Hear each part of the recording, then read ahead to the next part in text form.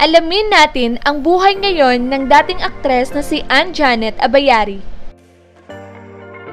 Si Ann Janet Abayari ay isang beauty queen at aktres na sumikat sa Pilipinas noong dekada 90.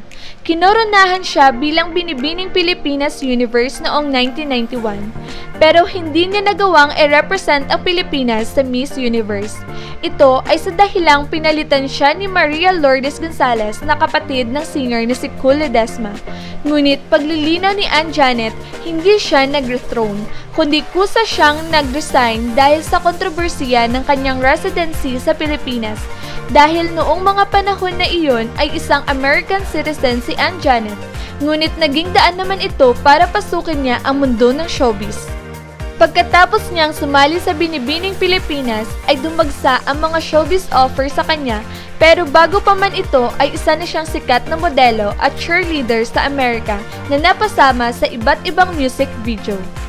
Sa Pilipinas ay pumirma siya ng kontrata sa Viva Films at doon ay nakagawa siya ng maraming pelikula at nakatambal ang mga sikat na leading man at action star ng mga panahong iyon, kagaya nila Fernando Poe Jr. sa pelikulang Ang Shota Kong Balikbayan noong 1996 at Comedy King Dolphy sa pelikulang Ari King King, ang bodyguard kong sexy noong 1996 Ngunit ang hindi malilimutan at tumatak sa kanyang career ay ang pagganap niya bilang Darna noong 1994 at tinagurian pa bilang isa sa pinakasexing Darna ng mga panahong iyon. Matapos nito ay lalo pang namayagpag ang kanyang karera sa Philippine showbiz. Taong 1999 noong nagbago ang lahat sa buhay ni Ann Janet. Ito ay nang mahuli at makitaan siya ng ilang traces ng droga sa kanyang bagahe habang nasa Guam Airport. Nakulong siya sa Guam at naging sanhi ito para iban siya at hindi na pabalikin ng Pilipinas dahil ayon sa gobyerno noon ay hindi raw magandang impluensya sa mga kabataan. Nakalaya rin naman agad si Ann Janet matapos makapagpiyansa at pagbayaran ang kanyang kasalanan sa pamamagitan ng community service. Noong 2003, nang malift ang ban kay Ann Janet, pero mas minabuti niyang magstay na lamang sa Amerika at doon ipagpatuloy ang kanyang buhay. Makalipas ang labing limang taon ay bumalik si Ann Janet Abayari sa Pilipinas. Ito ay noong January 2015, pero para na lamang magbakasyon at bisitahin ang kanyang pamilya sa bansa. Ngayon ay 50 years old na si Ann Janet, na panatili pa rin niyang maganda ang kanyang itsura at pangangatawan.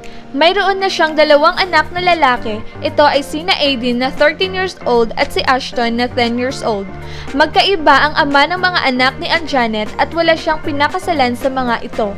Ayon sa kanya, masaya at kontento na siyang maging single parent. Sa ngayon ay simple at tahimik siyang namumuhay sa Amerika. Paminsan-minsan ay gumagawa pa rin siya ng mga pelikula doon para sa maliliit na kumpanya. Noong March 2018 ay engaged na si Ann Janet Abayari kay Gary Pangan na isang pastor sa California. Mahal na mahal ni Pastor Gary si Ann Janet pati na ang dalawa nitong anak. Masaya para kay Ann Janet ang kanyang mga kaibigan dahil natagpuan niya kay Pastor Gary ang kaligayahan na hinahanap niya. Ano sa tingin nyo? Mag-iwan lang ng comment, like, and share this video and don't forget to subscribe. This is Daming Alam TV.